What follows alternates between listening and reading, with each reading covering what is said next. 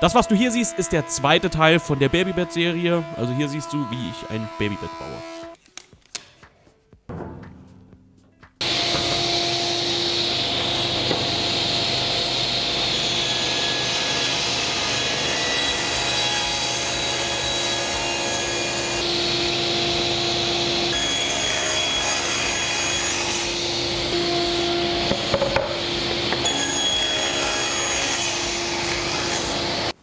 Unsere Paneele sind zugeschnitten und ich möchte hier oben eine Rundung anbringen.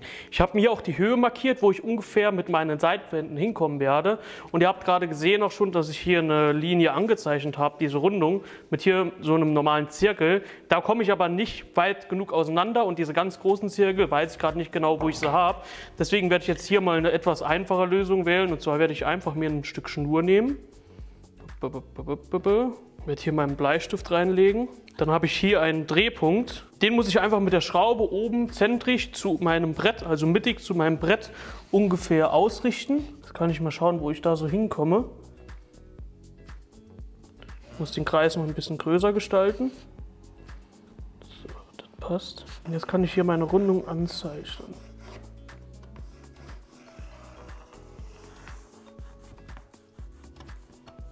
Weil ich hier gerade zweimal ein bisschen verrutscht bin, ist die Linie jetzt ein bisschen breiter geworden. Hier ist aber im Prinzip eine Sache eigentlich nur wichtig. Das werde ich mir jetzt auch zusätzlich nochmal auf dem Brett markieren.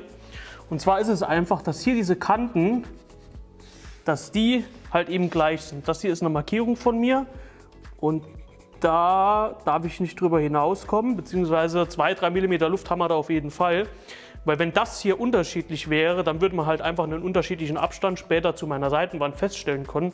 Wenn man es halt einfach sieht, wenn hier 2-3 mm Unterschied sind in dieser Rundung, wird das nicht so schlimm sein. Ich werde das jetzt einmal schneiden und anschließend werde ich das Ganze am Kantenschleifer einfach beischleifen.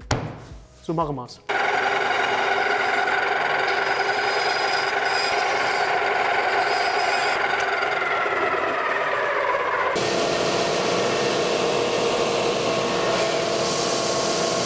Überprüfen können wir das Ganze, ob das einigermaßen symmetrisch ist, indem wir einfach mal eine Linie drauf zeichnen und dann unser Werkstück nochmal drehen. Wenn die Linie dann passt, ist es symmetrisch. Das ist eine einfache Möglichkeit, das Ganze fix zu überprüfen. Und genau mit der Seite habe ich das Ganze hier übertragen. Vorher habe ich es dann gerade bei dieser Aufnahme schon einmal rumgedreht und deswegen kann man sehen, dass das hier ganz gut funktioniert hat. Das hier werde ich jetzt einfach zuschneiden und einfach nachschleifen.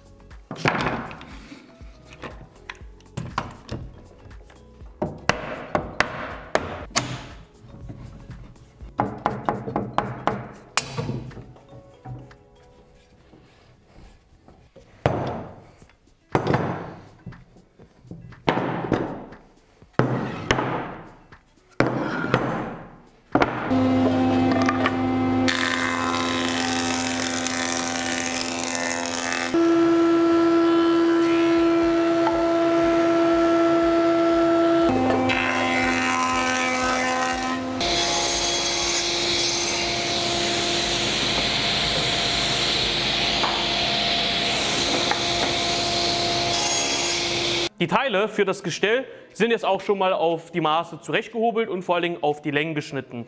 Ich habe jetzt so ein bisschen geschaut, dass ich die Teile, die nicht so schön sind, dass die so ausgerichtet sind, dass die halt auch eben unten sind. Ich markiere das mal lieber schnell, dass wir die ja später nicht vertauschen. Und hier will ich eine Langlochbohrverbindung, also mit der Langlochbohrmaschine.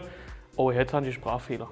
Ich öle mal die Stimme ein bisschen. Die behämmerte Tasse gibt es übrigens immer noch gibt es zu jeder Tasse gibt's zwei richtig witzige Stories. Ich verlinke die euch mal in der Videobeschreibung. Also, ich will mit der Langlochbohrmaschine jetzt gleich hier richtig, richtig stabile Verbinder herstellen, damit das Ganze halt einfach stabil wird. Das ist ein Gestell, da liegt ein kleines Kitty drin, das soll so stabil wie möglich sein. Deswegen werden wir hier auch zwei Flachdübel auf beiden Seiten einmal reinpacken und das machen wir jedes Mal an der Flachdübel, an der, oh, was ist denn heute los? Das machen wir an der Langlochbohrmaschine, ich markiere das hier einmal alles und dann geben wir Gas.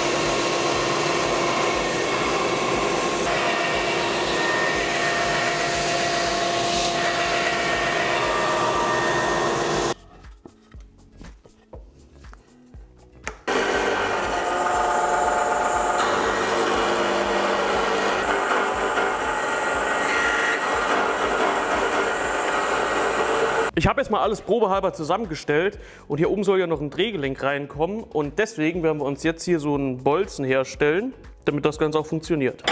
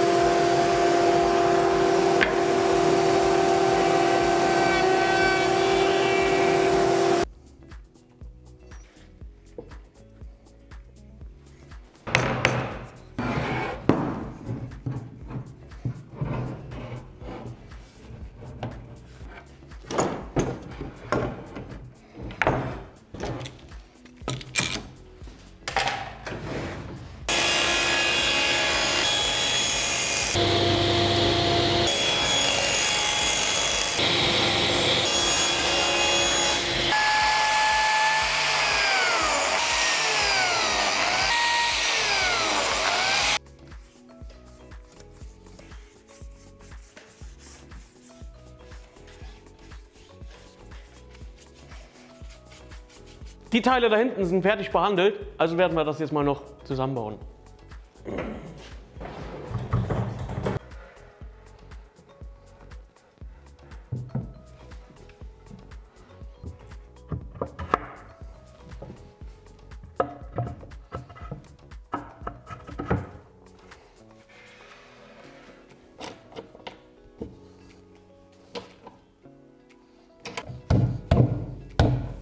Jetzt muss natürlich noch die Matratze hier reinpassen. So, zum Glück alles richtig gemacht. Die Matratze passt rein. So Leute, das Projekt ist fertig. Und hier diese Schaukelfunktion funktioniert wirklich richtig, richtig toll. Und jetzt kommen wir auch direkt mal so ein bisschen zur Auflösung, für wen dieses Kinderbettchen denn überhaupt ist. Denn vielleicht werden es manche schon gedacht haben, Nein, für mich ist es nicht.